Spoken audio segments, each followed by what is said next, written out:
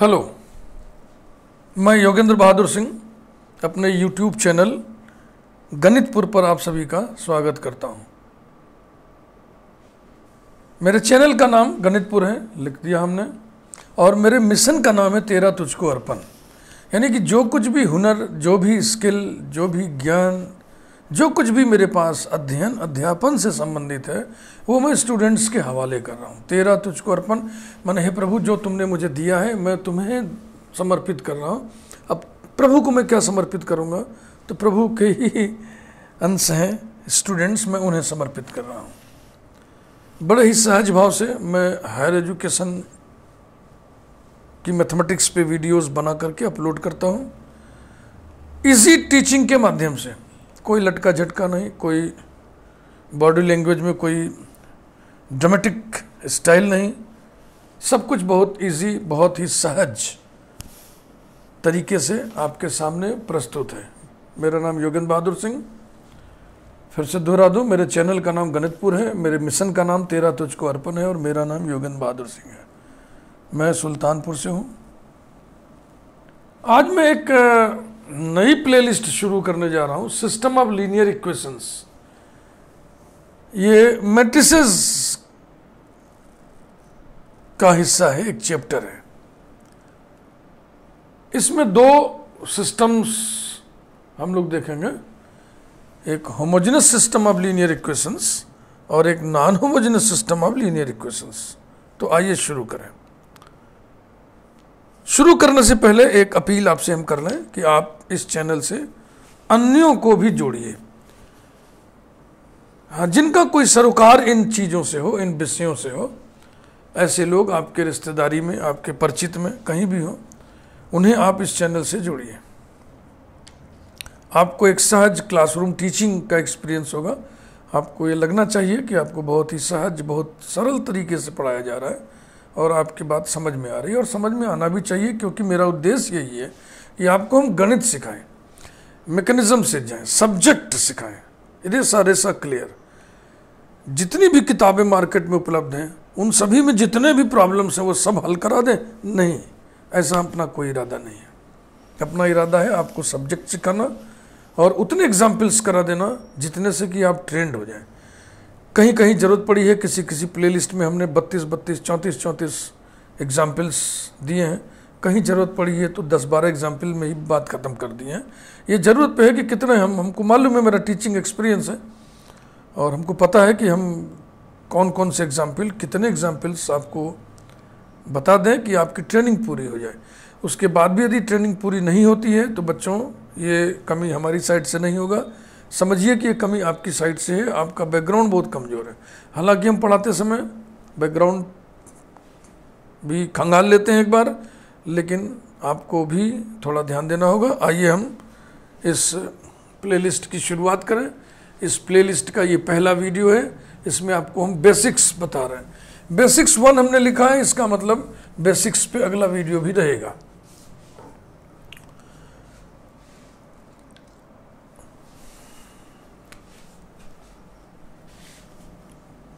Types of systems.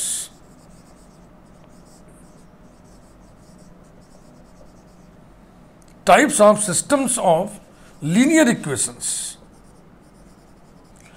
Linear equations माने एक घात वाले equations a x plus b y plus c equal to zero type के ना? Types types of systems of linear equations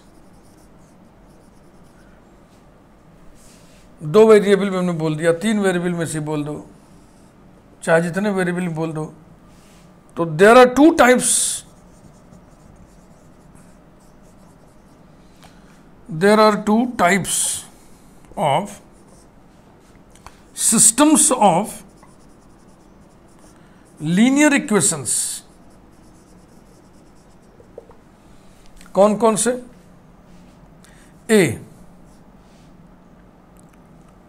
non homogeneous system चलो पहले homogeneous लिख लो non पहले बोलना अच्छा नहीं लग रहा है। पहले होमोजीनियस वर्ड आए, तब तो नॉन होमोजीनियस कहें। Homogeneous system of linear equations of linear equations of linear equations ये लिखना हम बंद कर देंगे, क्योंकि हम पढ़ ही रहे लीनियर इक्वेशंस के सिस्टम के बारे में। Homogeneous system of linear equations और दूसरा non homogeneous system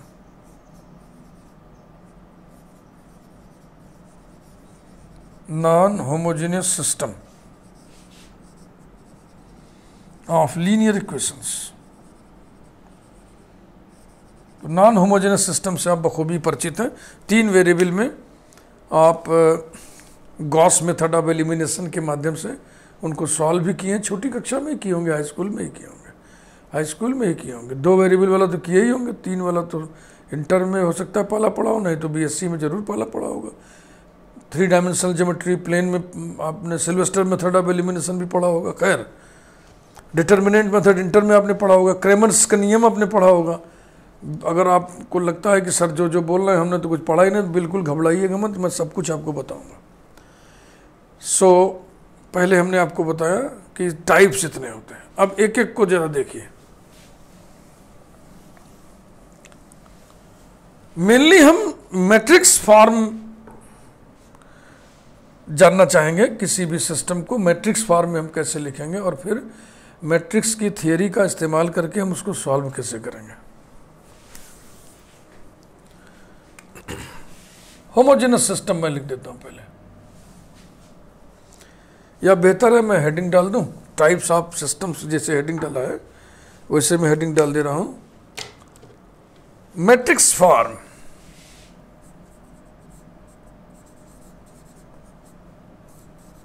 matrix forms of systems of linear equations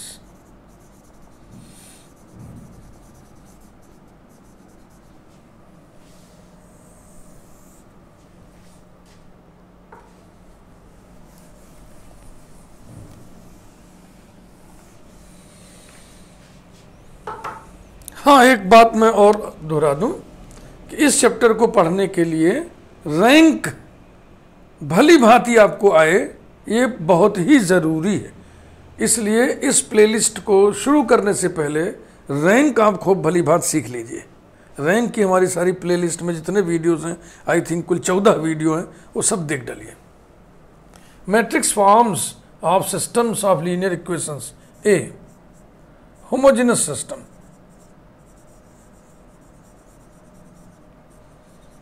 झटके में कहीं स्पेलिंग में कोई मिस्टेक हो जाए तो ठीक कर लीजिएगा। हाँ कभी कभी हम लोगों से ये छोटी छोटी गलतियाँ हो जाती हैं क्योंकि दिमाग, गणित पढ़ाते समय दिमाग आगे आगे दौड़ता है, कई स्टेप आगे दौड़ता रहता है। Homogeneous system a one one x one plus a one two x two plus so on plus a one n x n equal to zero बहुत सारे हमें कोफिशियंट चाहिए ना। तो कोफिशियंट लिखने में हम डबल इंडेक्स का इस्तेमाल कर रहे हैं। A two one x one plus a two two x two plus so on plus a two n x n equal to zero a m one x one plus a m two x two plus so on plus a m n x n equals to zero ये हो गया system इसको इकट्ठा number डाल दे रहे हैं। और यहाँ मैं लिख दे रहा हूँ। This is homogeneous system of कितने इक्वेशंस हैं? M this is homogeneous system of m equations in n variables कौन कौन से n variables x one x two so on x n ये रहा। तो इसमें कितनी पंक्तियाँ बनेंगी? कुल एम और कितने स्तंभ बनेंगे? एन तो अब मैट्रिक्स फॉर्म में हम लिखने जा रहे हैं। Its matrix form is is matrix form is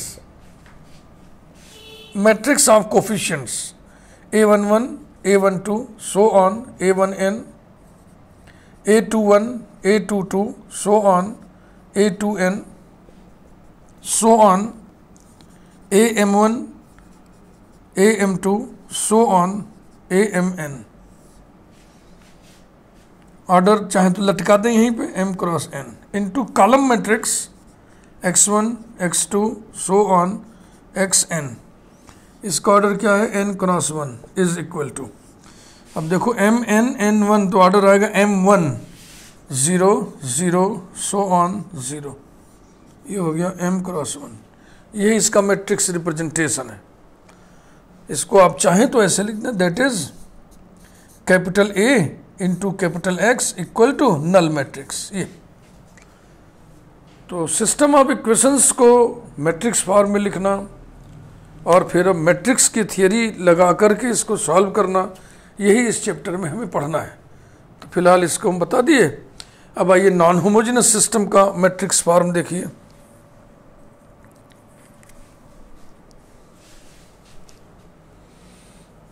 हाँ इसको हम मिटा के क्या फ़ायदा? इसी को हम लिख दे रहे बी एक वर्ड इसमें बढ़ा लो। नॉन ऐसे नॉन होमोजिनस सिस्टम और अब इस सिस्टम में क्या है कि इधर जो दाहिने तरफ़ ज़ीरो ज़ीरो ज़ीरो है, ये कांस्टेंट आ जाएँगे।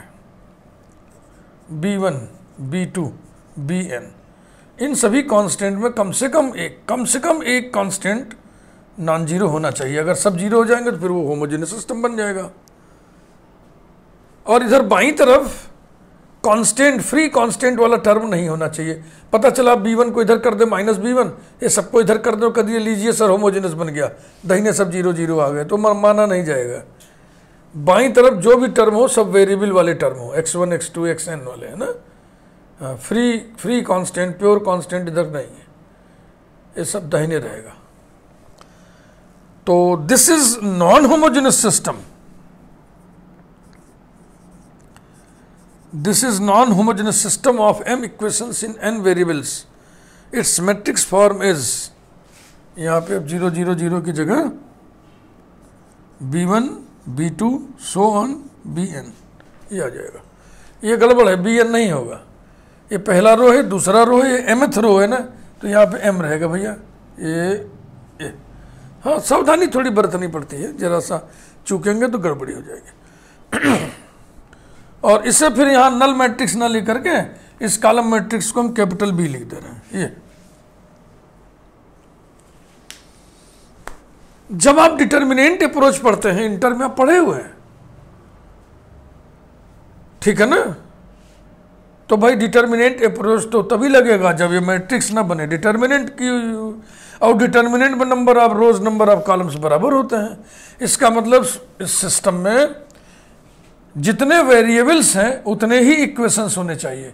क्योंकि वेरिएबल से क्या बन रहा है? कॉलम हाँ और इक्वेशन से क्या बन रहा है? रोज तो उतने ही इक्वेशंस होने चाहिए जितने की वेरिएबल्स हैं। तभी डिटर्मिनेंट की बात करोगे ना। अन्यथा डिटर्मिनेंट से हल नहीं होगा।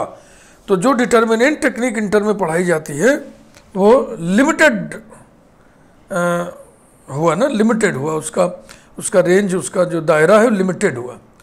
वो केवल तभी है जब number of unknown variables number of equations के बराबर हो। तो अब उसी को और जनरलाइज कर दिए हम कि जब ऐसा ना हो तो क्या करेंगे? तो हम मैट्रिक्स टेक्निक लगाएँगे, वही आप पढ़ने जा रहे हैं।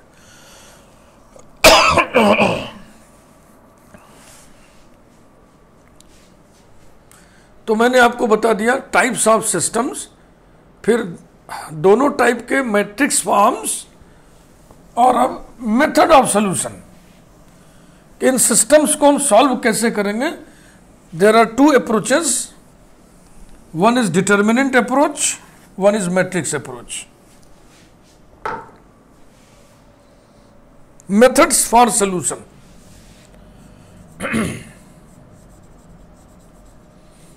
methods for solution there are two methods for getting the solution, number 1 matrix approach.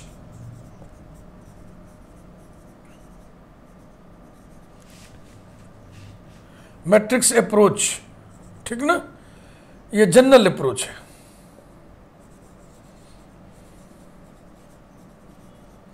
General approach और बी डिटर्मिनेंट अप्रोच बताएँगे दोनों आपको, दोनों सिखाएँगे।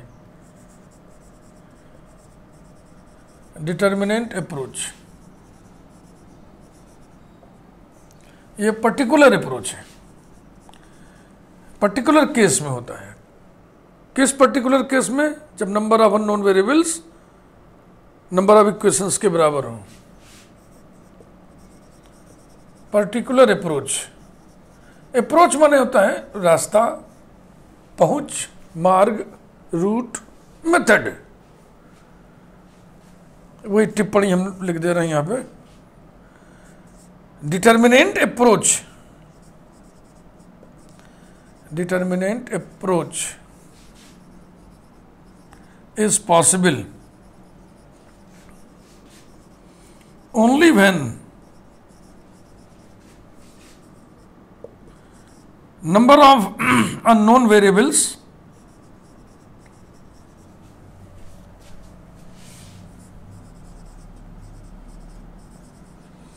is equal to the number of equations ताकि number of rows number of columns बराबर हो जाए और हम डिटर्मिनेंट फॉर्म कर सकें। ठीक, यहाँ तक बात समझ में आई सबको?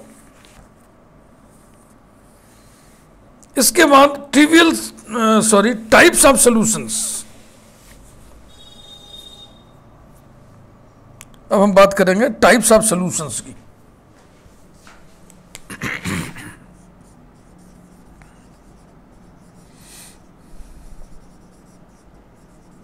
Types of solutions there are two types of solutions a trivial solutions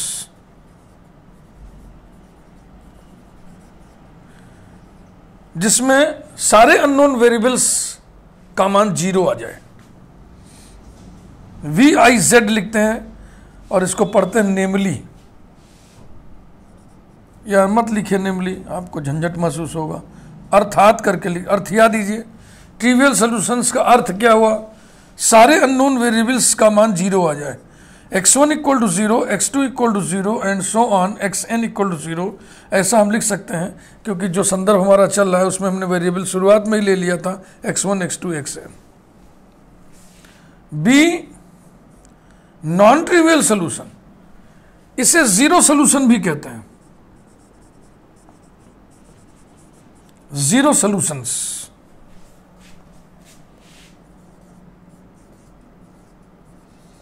Non trivial solutions देखो ट्रिवियल सॉल्यूशंस में क्या है? सभी अननोन वेरिएबल्स ज़ीरो हैं। तो इसमें क्या होगा?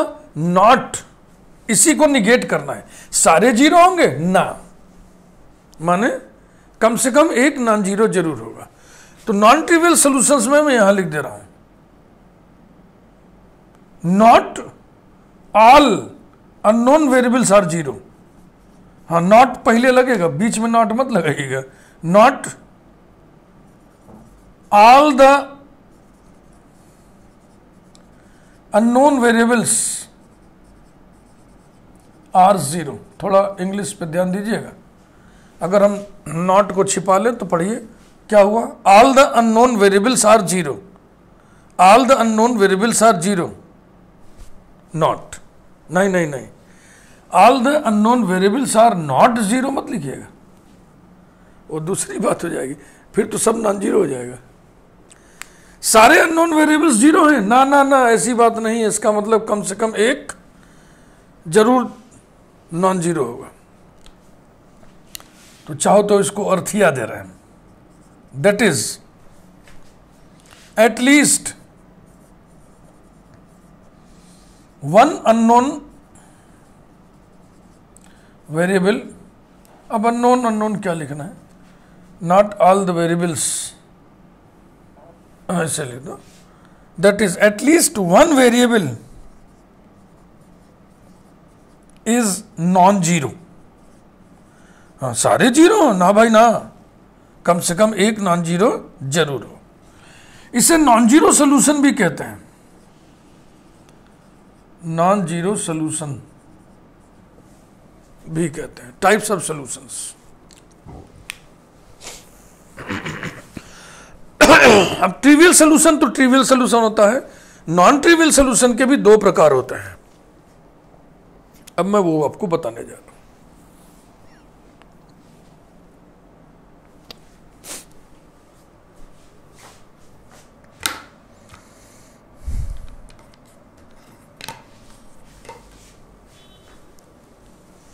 Types of non trivial solutions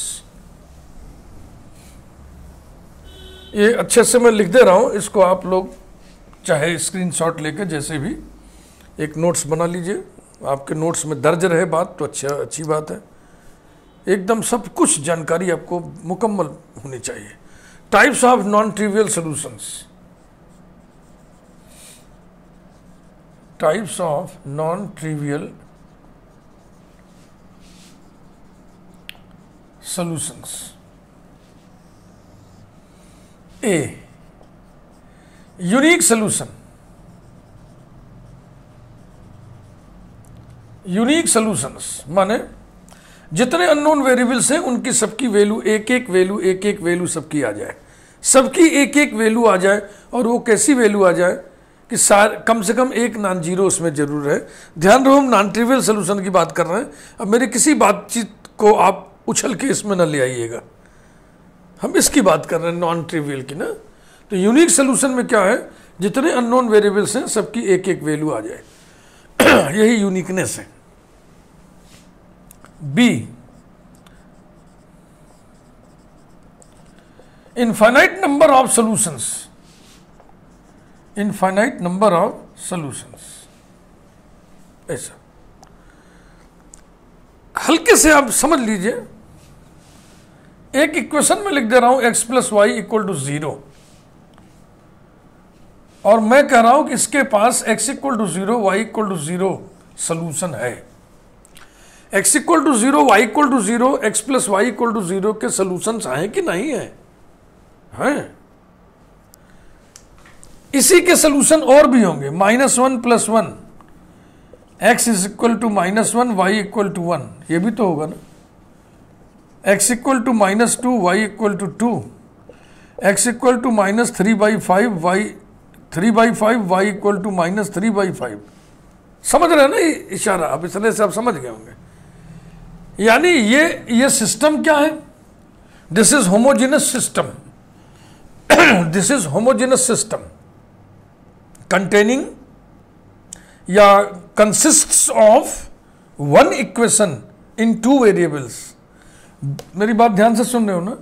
This is homogeneous system consisting of या which consist of one equation in two variables इसके पास, मैं देखो ध्यान सुनना होमोजिनस सिस्टम के पास ट्रिवियल सॉल्यूशंस होते ही होते हैं। होंगे कि नहीं होंगे?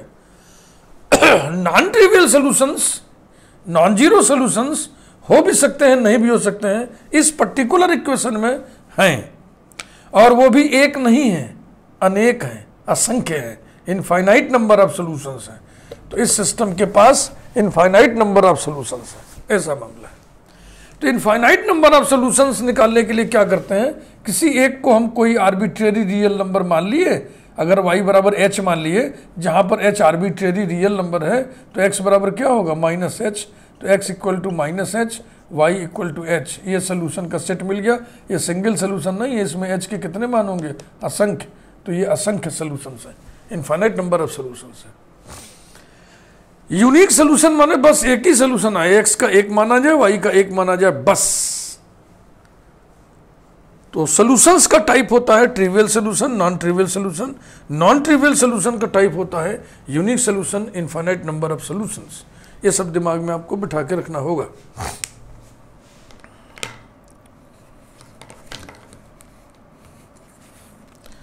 इसके बाद आज इस वीडियो में एक छोटी सी चीज़ मैं आपको और बता दूँ, और फिर आज का काम मैं समझता हूँ समाप्त किया जाए।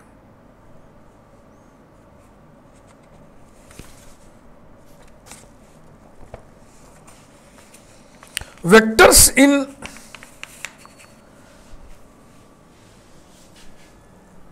in the form of matrices.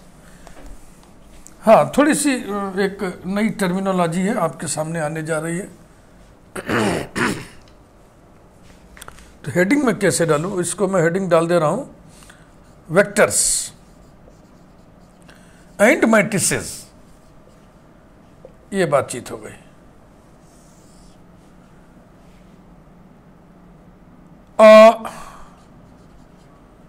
Row matrix also termed as a row vector बस यही वेक्टर वर्ड आया है। And column matrix column matrix is also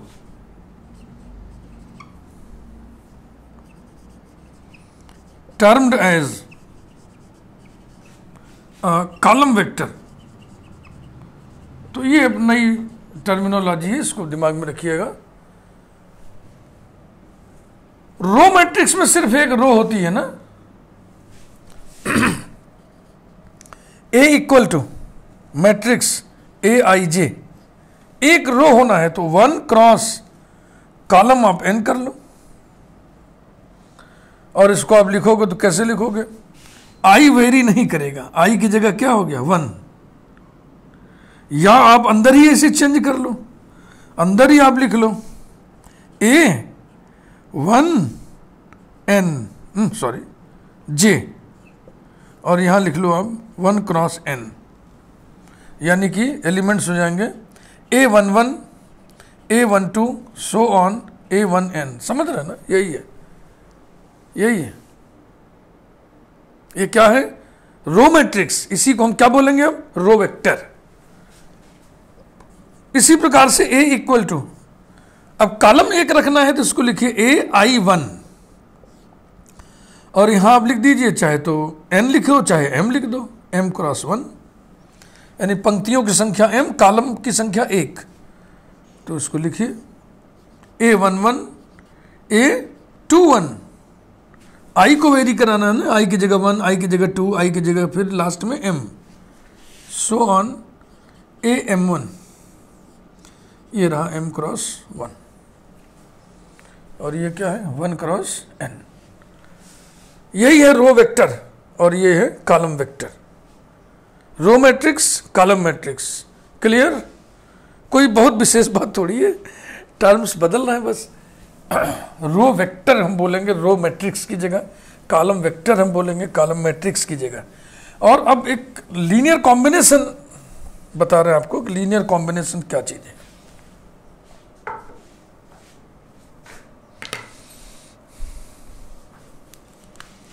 Linear combination of vectors. अब वेक्टर का मतलब यही चलेगा बस, चाहे वो कॉलम वेक्टर हो, चाहे रो वेक्टर हो।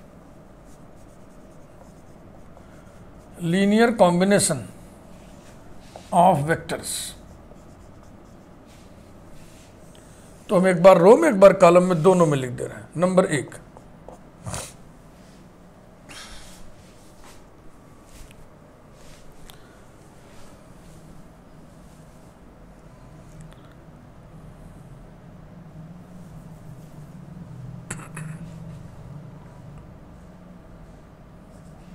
a1 capital x1 plus a2 capital x2 plus so on plus an capital xn is a linear combination. Is a linear combination of the vectors. X1 comma x2 comma so on comma xn अब ये सारे vectors एक ही nature के होंगे, या तो सब के सब रो वेक्टर्स होंगे, या तो सब के सब कॉलम वेक्टर्स होंगे। Full stop here A one comma A two comma so one comma A n all are scalars scalars माने नंबर्स रियल और कॉम्प्लेक्स अब हम दो रिज़ल्ट लिख रहे हैं।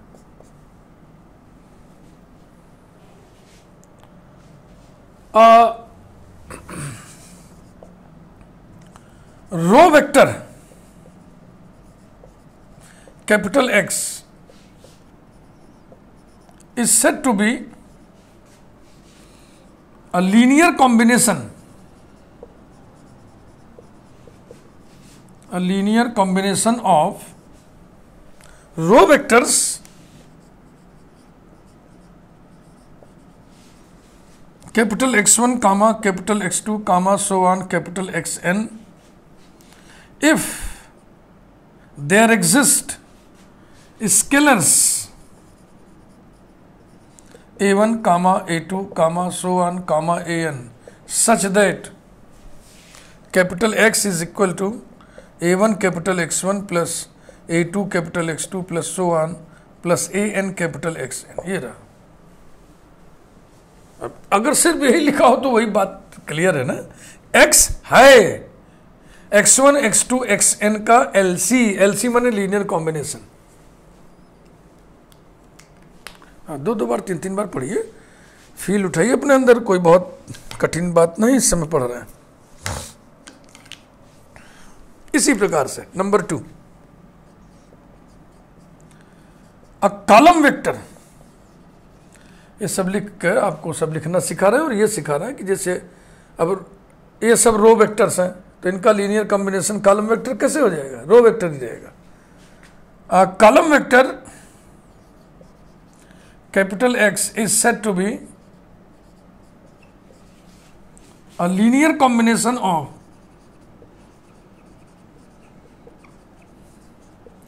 a linear combination of column vectors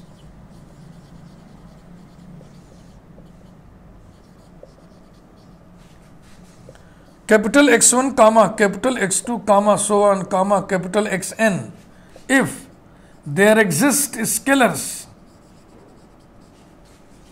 a1 comma a2 comma, so on comma an such that. अब scalar A one A two A n ही ज़रूरी नहीं है। B one B two B n C n C two कुछ भी लिख दो scalar exist करना चाहिए। Such that x is equal to A one capital x one plus A two capital x two plus so one plus A n capital x n ये रहा। आज के इस वीडियो में बस इतना ही। बातचीत अभी हम जारी रखेंगे। अगले वीडियो में भी बेसिक्स बात ठीक करेंगे। Thank you very much video को लाइक ज़रूर करिए।